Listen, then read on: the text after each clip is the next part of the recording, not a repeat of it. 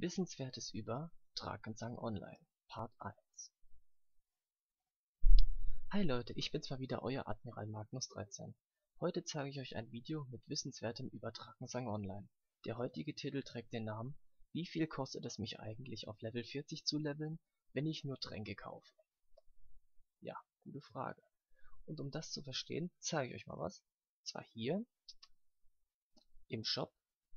Da gibt es unter dem unter den Tränken gibt es hier unten den einfaches Elixier der Erfahrung, dann das kleine Elixier der Erfahrung, dann gibt es auch das normale Elixier der Erfahrung und das verbesserte Elixier der Erfahrung. Nun diese vier Elixiere können Erfahrungspunkte herstellen, wenn man sie kauft. Das heißt, man kauft sich quasi die Erfahrung, die man benötigt, um im Spiel zu leveln. Ganz einfaches Prinzip, indem man, man bekommt normalerweise Erfahrung, wenn man entweder Gegner abschlachtet, also entweder nur oder wenn man Quest beendet. Aber es gibt natürlich, oder diese dritte Möglichkeit gibt es auch noch. Träge kaufen. Nun, diese Frage, nette Frage, muss ich ehrlich zugeben. Ähm, ich weiß nicht, wie ich drauf gekommen bin, fragt mich nicht. Aber hier, seht ihr erstmal, habe ich aufgeschrieben, erstmal oben links von Level 1 bis 11 benötigt man so und so viel Erfahrung, von 1 bis 21 so viel. Habe ich einfach mal aufgeschrieben, ab den bestimmten Leveln, nämlich die Tränke, die kann man ab den ersten Trank den kann man ab Level 1 kaufen, den zweiten ab 11, den zweiten, äh, den dritten ab 21 und den letzten eben ab 31. Und es wäre natürlich schlau, wenn wir den kleinen, also man kann ja nur den kleinen benutzen und sobald man den nächstgrößeren Drang frei hat, dass man den kauft und damit man mit dem weiter, naja, ich sag mal, wenn man zu faul ist zu spielen und sich nur die Tränke kauft, genau deswegen ist die Frage auch da. Ja, gute Rechnung. Also, was habe ich denn jetzt? Zum Beispiel bis Level 11 kauft man, hat man nur den ersten Trank, also quasi bis man Level 11 erreicht. Das heißt, bis äh, während man noch Level 10 ist, kauft man den ersten Trank. Das muss man insgesamt, wie es da steht, 49 mal den ersten Trank kaufen. Das kostet insgesamt 19.600 Andermanten. Naja, es hat eben so seinen Preis. 49 Tränke, A4 hat Erfahrung, also EP, machen gesamt 90, äh, 19.600 EP. Das ist genau so viel, dass man Level 11 erreicht. Nachdem man Level, äh, Level 11 erreicht hat, kann man den schon den zweiten Trank kaufen. Der bringt nicht 400 EP, sondern, äh, was war das? Ich glaube 1250. Und das muss man dann wiederum so lange kaufen, bis man den nächsten frei bekommt. Gibt ja, also das taktisch am klügsten. Ich, zumindest würde ich so machen, um noch möglichst günstig wegzukommen. Aber wie man da unten schon sieht, äh, komme ich später zu günstig ist das nicht. So, ab Level 21 kauft man insgesamt 154 Tränke. Man bräuchte nur 153,92, aber man kann nicht halbe oder 0,92 Tränke kaufen, deswegen immer ganze. Reicht also die Punkte, die EP-Zahl, damit man äh, Level 31 erreicht, um den dritten Trank zu kaufen und so weiter.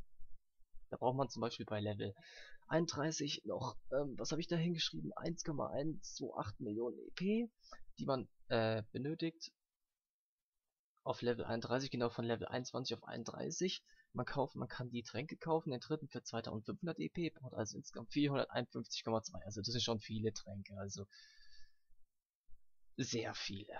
Ich glaube nicht, dass ich da jetzt sitzen würde und nur Tränke kaufen würde. Okay. Der dritte Trank, äh, Trank bringt drei, äh, 2500 EP, sorry. So. Dann steht hier rechts EP Gesamt also wenn man die EP zusammenzählt, wie viel ich dann habe, zum Beispiel, ich habe durch den ersten Trank so und so viel gekauft, mit dem zweiten dann so und so viel, zusammengezählt, rechts, wie viel EP man gesamt hat. Die Frage, wie viel benötigt man? Um auf Level 40 zu kommen, benötigt man 5.130.000 EP. Meines Wissens nach. Korrigiert mich, wenn ich falsch bin. So. Und laut Rechnung muss man, also was ich da eben ausgerechnet habe, braucht man insgesamt, wenn man alles per Tränken kauft und es ähm, relativ clever macht und es ja genau den Trank kauft, wenn man also am wenigsten ausgeben möchte, erreicht man am Ende eine Gesamt-EP-Zahl von 5132 und 100.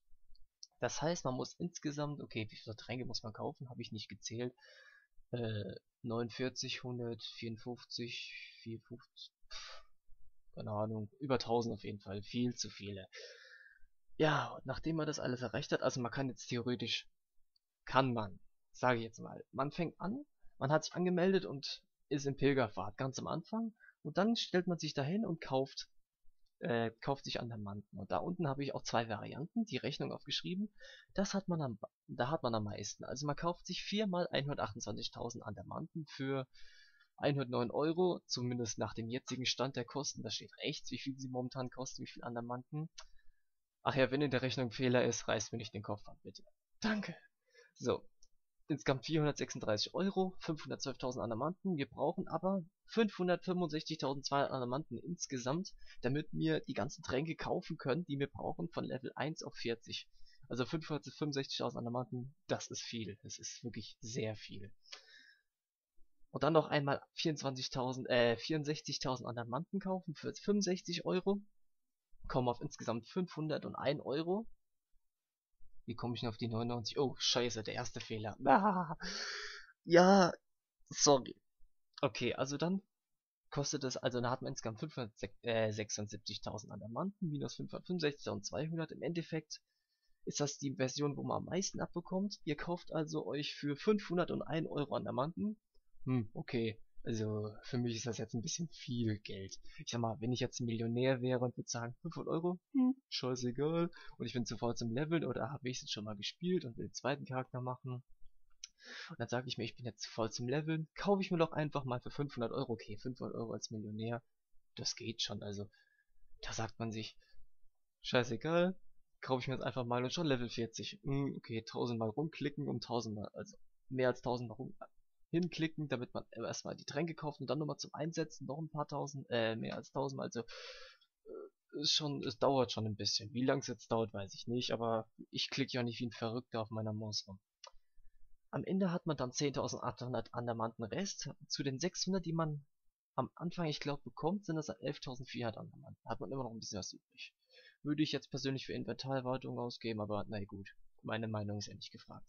Und dann gibt es noch die günstigste Möglichkeit. Da kauft man sich einmal äh, viermal 128.000 Anamanten, einmal 32.000, einmal 16.000 und jeweils einmal 4 und 1.500. Da kommt man auf einen Gesamtbetrag von 494,99 Euro. Ich denke, ich hoffe, das ist jetzt mal richtig. Ist, ist ganze 6 Euro, oder? Nein, 7 Euro. Doch, 6 Euro und 1 Cent. 6 Euro und 1 Cent günstiger. Geil, aber man hat eben am Ende nur noch 300 Anamanten übrig. Also wenn ich das schon machen würde, würde ich persönlich die Variante nehmen, wo man am Ende noch 10.000 bzw. 11.400 Anamanten übrig hat, statt die 900, wenn man die 600 auch drauf zählt, bei der günstigen Variante, aber äh, wie gesagt, ich, ich schwimme nicht im Geld, ich habe nicht so viel Geld. Ich lasse es lieber. Aber nur mal so wissenswert. Antwort, Frage beantwortet. Man braucht also etwa, ich sag mal, um die 500 Euro, wenn man sich allein mit Tränken hochkauft auf Level 40. Jemand, der sowieso viel Geld ausgibt, hm, kann sich ja überlegen.